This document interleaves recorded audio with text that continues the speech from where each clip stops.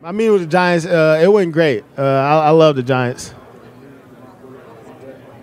Uh, my takeaway, uh, so the Giants, they knew my older cousin. He he played for them, uh, Darnay Holmes. So they kind of going into that meeting, they just asked me uh, certain questions, called me by my nickname, which was surprising, but they got that from him.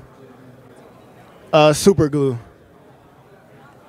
Uh, I've been getting called that uh, super glue my whole life because I play receiver also in football. I've been playing receiver and defense my whole life. And then as a kid, I never would drop no balls, so my coach gave me that nickname.